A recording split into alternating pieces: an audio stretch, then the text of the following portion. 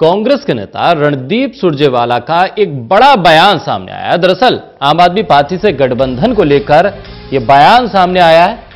रणदीप सुरजेवाला ने आम आदमी पार्टी से गठबंधन को इनकार किया। उन्होंने कहा कि पंजाब और हरियाणा में आम आदमी पार्टी से कोई गठबंधन नहीं होगा। दिल्ली को लेकर उन्होंने ये बयान नहीं दिया, लेकिन पंजाब हरियाणा को लेकर उन्होंने स्पष्ट कहा है कि पंजाब और हरियाणा में आम आदमी पार्टी से कोई गठबंधन नहीं होगा।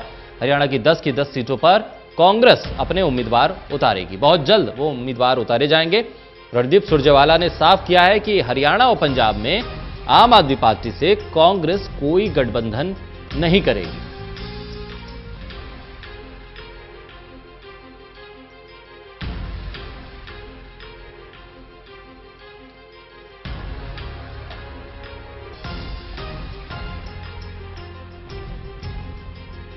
रणदीप सुरजेवाला का ये अहम बयान सामने आया।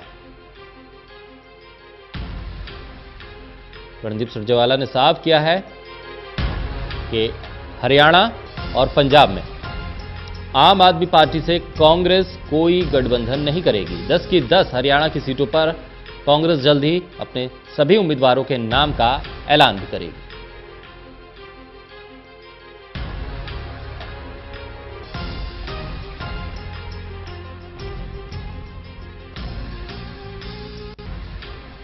बड़ा बयान रणदीप सुरजेवाला का।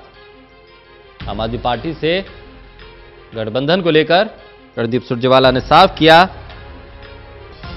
कि हरियाणा और पंजाब में आम आदमी पार्टी से कांग्रेस कोई गठबंधन नहीं करेगी।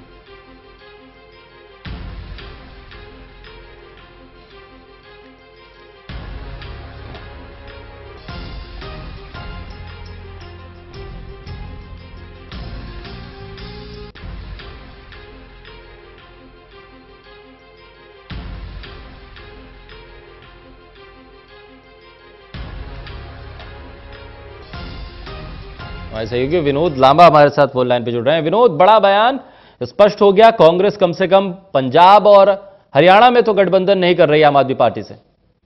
हाँ निश्चित तौर पर बड़ा बयान माना जाएगा और रणदीप सुरजेवाला की तरफ़ से आया है तो एक तरह से कहा जाता है कि राहुल गांधी के सबसे बड़े मैसेंजर हैं खासतौर से मीडिया में हाँ, कोई मैसेज देना होता है कोई बयान देना होता है किसी रणनीति को लेकर रुख साफ़ करना होता है क्योंकि इससे पहले ताकि हम और आप चर्चा कर रहे थे, भूपेंद्र हुड्डा से लेके अशोक तंवर जो तमाम हरियाणा लेवल के नेता हैं, वो इस विषय पर बहुत ज़्यादा बोल नहीं पा रहे थे और कह रहे थे कि राष्ट्रीय स्तर पर कोई फैसला होता है तो उसका असर हरियाणा पर भी होगा।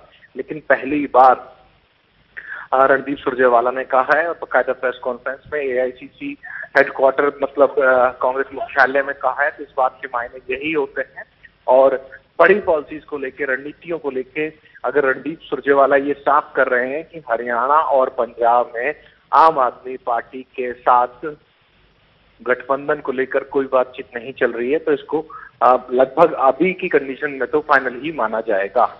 विनोद, और अपने उम्मीदवारों के नाम के ऐलान को लेकर एक बार रणदीप सुरजेवाला ने कहा है कि जल्दी उम्मीदवारों के नाम का ऐलान हो जाएगा, लेकिन आपके सूत्र क्या कुछ कह रहे हैं? कितना वक्त कांग्रेस और लगा सकती है उम्मीदवारों के चयन में?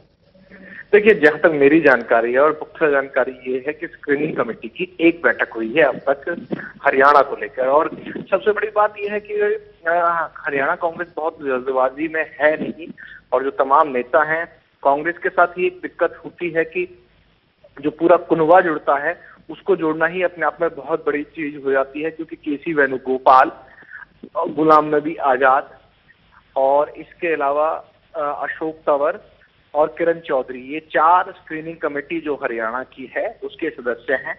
गुलाम नबी आज़ाद साहब दिल्ली से बाहर थे जम्मू एंड कश्मीर अपने रीजन में थे। सात तारीख को उनको आना था ऐसी चर्चाएँ थी कि आज संडे को स्क्रीनिंग कमेटी की बैठक होने वाली है। लेकिन मेरे सूत्र जो आ, मुझे पुख्ता तौर पर ये बता पा रहे हैं साकिर वो ये कह रहे हैं कि नौ तारीख से पहले बैठक संभव नहीं है। और और जैसा मैं कह भी रहा था आपने अगर गौर किया हो तो पाँच छह सीटों पर लगभग उम्मीदवार तय हो चुके हैं तो कोई बहुत बड़ा विषय नहीं है और इन सीटों पर प्रचार भी शुरू हो चुका है क्योंकि इससे पहले अशोक तंवर के दौरे हम देख रहे थे तमाम हरियाणा में जगह जगह एक्टिव रहते थे लेकिन अब अगले दो दिन तक यानी संडे और मंडे सिर्फ़ सिरसा में उन्होंने अपना डेरा डाल लिया है। बहुत शुक्रिया विनोद तमाम जानकारी के लिए। हमारे साथ इस वक्त कांग्रेस के वरिष्ठ नेता प्रवक्ता तरुण भंडारी साहब हमारे साथ फ़ोन लाइन पे जुड़ गए हैं। तरुण साहब रणदीप सुरजेवाला का बयान, गठबंधन हरियाणा और पंजाब में आम आदमी पार्टी से आप लोग नहीं कर रहे हैं, लेकिन अकेले अगर आप मैदान में आ रहे हैं तो उम्मीदवार कब ऐलान करेंगे आप लोग? क्योंकि बीजेपी ने तो अपने आठ उम्मीदवारों के नाम का ऐलान भी कर दिया है। ऐसा कि जल्द ही हमारे उम्मीदवारों की सूची आपके सामने आ जाएगी।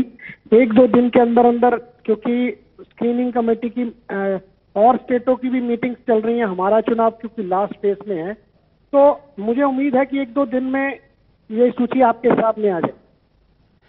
तरुण साहब कुछ जानकारी है कि खबर यह है कि भूपेंद्र सिंह हुड्डा भी चुनावी मैदान में आ रहे हैं। लोकसभा चुनाव लड़ेंगे।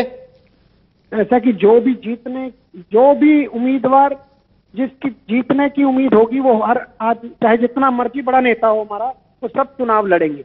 और हरियाणा में हमारे पास दस सक्षम उम्मीदवार हैं दस से ज़्यादा है और दस तो हमारे ऐसे नेता हैं जो लगातार इस भारतीय जनता पार्टी की नीतियों के खिलाफ लगातार लड़ते आए हैं। और दूसरी तरफ़, भारतीय जनता पार्टी ने जो अपने उम्मीदवार दिए हैं, आप देखिए कितनी बड़ी बड़ी बातें करी थी। कोई मेनका गांधी जी की कभी बात करते थे बड़े बड़े खिलाड़ियों की बात करते थे बड़े बड़े उद्योगपतियों की बड़े बड़े फ़िल्म स्टार की, परंतु इनको कोई भी उम्मीदवार हरियाणा में आने से मना कर गया। ये स्थिति दर्शाती है कि आज भारतीय जनता पार्टी की क्या स्थिति है और कांग्रेस की क्या स्थिति। तरुण साहब, एक सवाल और करता चलो आपसे। आखिरी सवाल मेरा कि अरविंद शर्मा साहब, आप लोगों से छूट कर बीजेपी में गए थे। उम्मीद उन्हें ये थी कि करनाल से टिकट मिलेगा, लेकिन वहाँ पर भी हाथ खाली है उनके? ऐसा कि भारतीय जनता पार्टी, हम शुरू से कहते आ रहे कि सबसे झूठी पार्टी है। इन्होंने नेताओं से दगा करने का काम तो इनका पुराना है, परंतु ये जनता से भी और राम के नाम पे भी ये दगा करने वाली पार्टी है। इन्होंने किसी भी आदमी के साथ सच नहीं बोला।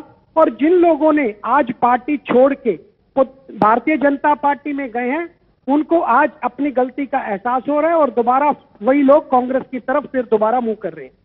बहुत शुक्रिया तरुण साहब, टोटल न्यूज़ से बात करने के लिए। तो कांग्रेस अब कुछ ही दिनों की बात कह रही है कि कुछ दिनों में लिस्ट जारी हो जाएगी।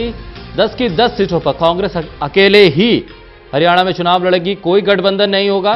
रणदीप सुरजेवाला के बयान ने ये साफ़ कर दिया है। स्क्रीनिंग कमेटी की एक ही बैठक हुई है और जिस तरह से हमारे संवाददाता विनोद बता रहे थे कि कुछ दिन में, एक से दो दिनों के बाद ये एक और बैठक हो सकती है और उसके बाद पहले लिस्ट आने की संभावना बनती दिखाई दे रही है। फ़िलहाल हरियाणा कांग्रेस अभी किसी जल्दबाजी में नहीं है।